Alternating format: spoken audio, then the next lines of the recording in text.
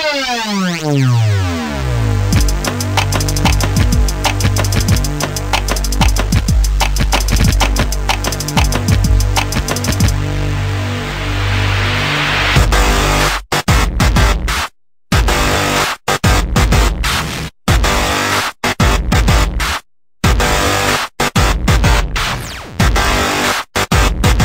guys, I haven't been doing as many uh, videos because I actually filled up my whole hard drive with uh, files.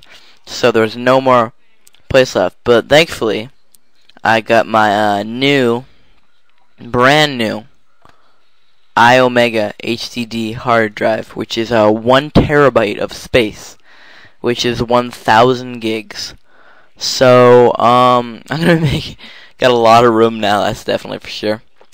And um, so we're gonna start out with this video. It's how to change your boot screen. Like when you first start up a computer, it shows like Windows XP and it has like the little loading bar like like that. Um, we're gonna show you how to change that. So first, you're gonna go to the first link on the right of the description. It'll be Stardock Boot Skin, and you're gonna go right here, download the blue button, and download it for Vista or XP, whichever one you have. I have XP, so I'm gonna hit download. I'm to hit download now.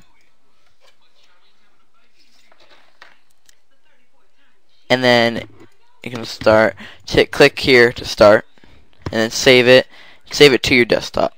I already have it, so I won't save it. Go through the installation wizard, it's really easy, and then it'll be right here. I haven't Stardock, but um, you'll have some that are really, really dumb, like you'll have this one, you'll have this one, pretty much they all suck. And if you try and browse them here, you can't, because WinCustomize is now broken. That's right, broken. So we're going to show you how to get more. So the second link in the video description will be this deviant art. And uh, right here, we're going to type in Windows space boot skin in DeviantArt and hit enter. After that, you're going to scroll down. You can go to the next page and stuff. Find one you like. I personally like this uh, New York City boot skin. And it'll look like this. That'll be loading too. I love that.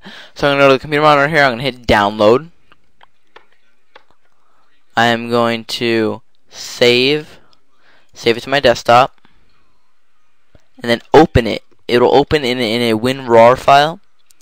So make sure you have that up and just hit NYC Bootskin, double click that. Open up into Bootskin. You see it's right there. Preview it. And see? It's really easy, easy. Then you just hit apply. Bootskin applied successfully. Now, um, I can't show you it because, of course, when I restart my computer will be off and I lost my camera right now. So maybe next time I'll show you uh, the boot skin. But it's really simple.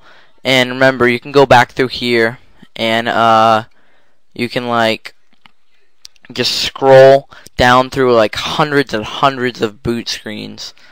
Um, like literally hundreds.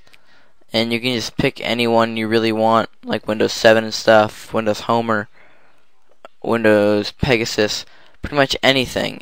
And um yeah, so uh, please guys, don't forget to subscribe. It helps so much, and it just shows me that people are actually watching my videos, so that I can make even more. So um, thanks.